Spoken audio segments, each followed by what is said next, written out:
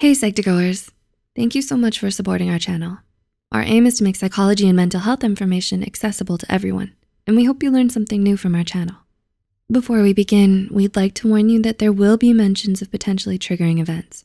There are examples of types of trauma mentioned throughout the video, but no details are discussed. Now, let's begin. We've all experienced some form of trauma, whether it's been big or small. And sometimes this trauma sticks around for longer than we expect, leading to unhealed trauma. Depending on the types of situations you've experienced, trauma can be categorized into five different types. With that said, here are the five types of unhealed trauma.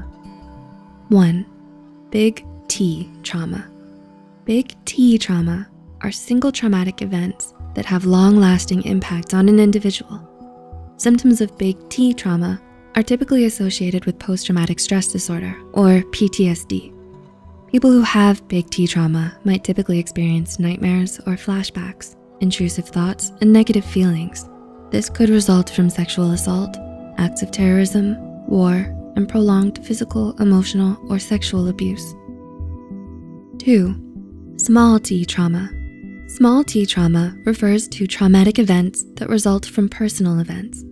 It generally consists of all other trauma that is not covered by big T trauma. Despite its name, small t trauma can still disrupt your life, especially if it goes unprocessed. Examples of small t trauma include getting fired from a job, divorce, or continuous academic, financial, or personal stress. Three, acute trauma. Acute trauma refers to trauma that occurs from a single incident. It's a type of trauma that could be categorized as small t or big T trauma, depending on the person and situation. Examples of acute trauma include witnessing an act of violence, assault, an accident such as a house fire or car accident, or natural disasters. Four, chronic trauma. Compared to acute trauma, which describes singular events, chronic trauma is about repeated and prolonged events. Instances such as domestic violence, ongoing abuse, medical trauma, bullying, and war can make up chronic trauma. And five, complex trauma.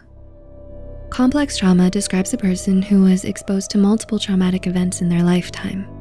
This can mean they grew up in a chaotic or abusive home as a child and then grew up to survive other types of trauma, which can be described by other acute or chronic trauma events. Many people struggle with the symptoms of unhealed trauma, and it affects the lives of people in different ways. The effects can be devastating but they do not have to ruin someone's life. You are more than what's happened to you. And with the proper treatment, support, and lifestyle changes, a person living with unhealed trauma can lead a fulfilling life. If you recognize yourself or someone you love in this video, please be encouraged to speak with a trained professional and take care of yourself. We want you to be safe and your mental health matters. Please don't be afraid to reach out to an online community, other Psych2Goers, a friend, or a family member or a qualified professional if it becomes too much for you. Remember, help is out there. If you found this video helpful, be sure to share it with someone who might benefit from it. Thanks for watching and we'll see you soon.